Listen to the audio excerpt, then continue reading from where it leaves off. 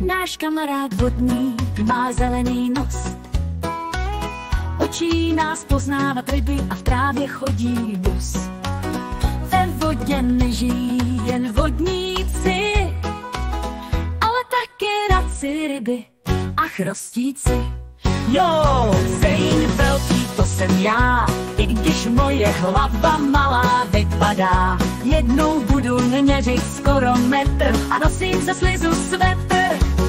Ve vodě nežijí jen vodníci, ale taky raci, ryby, cejny a chrostíci.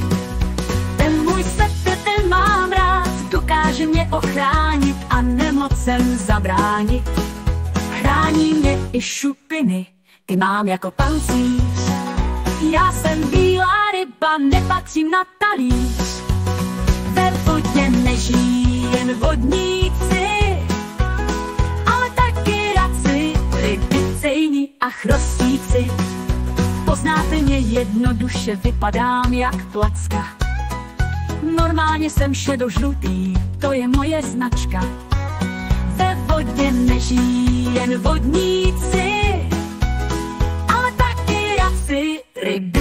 cejni a chrostíci. Tak se o mě starejte a mějte mě rádi, já vám za to vyplním nějaké to přání. Někdy jsem i zlatý, to prozradí můj věk, dožívám se totiž až 30 let. Tak ahoj u vody, jsem rád, že jsme se poznali. Váš Zejn,